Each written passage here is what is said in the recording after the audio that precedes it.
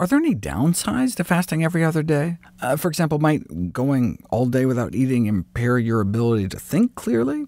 Surprisingly, the results appear to be equivocal. Uh, some studies show no measurable effects, and the ones that do fail to agree on which cognitive domains are affected. Might the fasting-feasting cycles cause eating disorder-type behavior like binging?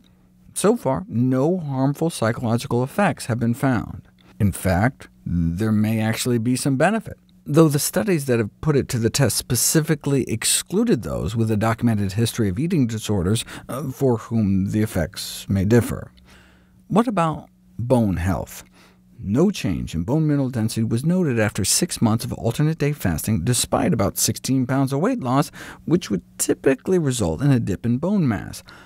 There were no skeletal changes noted in the control group either, however, that lost a similar amount of weight using continuous calorie restriction. Uh, the researchers suggest that this is because both groups tended to be more physically active than the average obese individuals by 1 or 2,000 steps a day.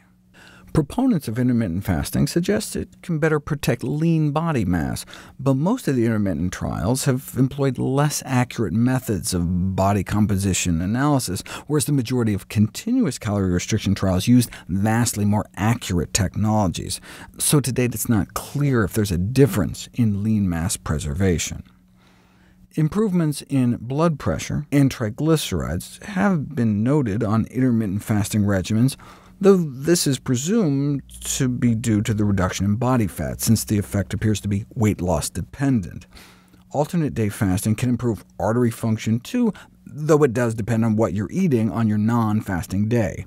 Randomized to an alternate-day diet high in saturated fat, artery function worsened despite a 15-pound weight loss, whereas it improved as expected in the lower-fat group. The decline in artery function was presumed to be because of the pro-inflammatory nature of saturated fat. A concern has been raised about the effects of alternate-day fasting on cholesterol. Uh, after 24 hours without food, LDL cholesterol may temporarily bump up, but this is presumably just because so much fat is being released into the system by the fast. An immediate negative effect on carbohydrate tolerance may stem from the same phenomenon, the repeated elevations of free fat floating around in your bloodstream. After a few weeks, though, LDL levels start to drop as the weight comes off. However, results from the largest and longest trial of alternate-day fasting have given me pause.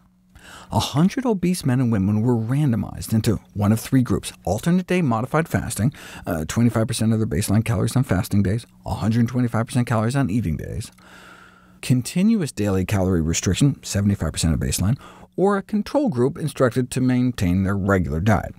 So, for those going into the trial eating 2,000 calories a day, in the control group they would have continued to eat 2,000 calories a day. The calorie restriction group would have started at 1,500 a day every day, and the intermittent restriction group would alternate between 500 calories a day and 2,500 calories a day.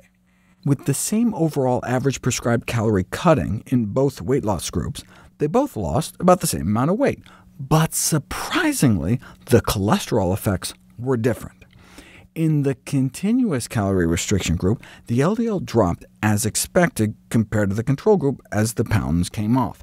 But in the alternate-day modified fasting group, they didn't.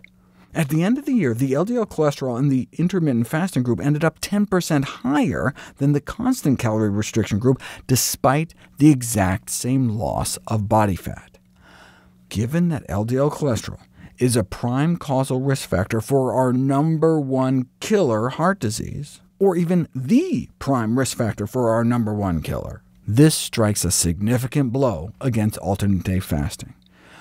If you do want to try it anyway, I would advise you to have your cholesterol monitored to make sure it comes down with your weight.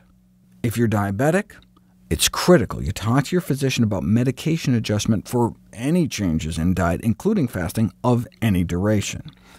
Even with proactive medication reduction, advice to immediately break the fast should sugars drop too low, and weekly medical supervision, Type 2 diabetics fasting even just two days a week were twice as likely to suffer from hypoglycemic episodes compared to the unfasted control group.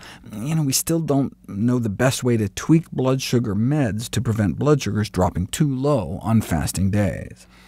Even just fasting for a day can significantly slow the clearance of some drugs, like the blood-thinning drug Coumadin, or increase the clearance of others, like caffeine.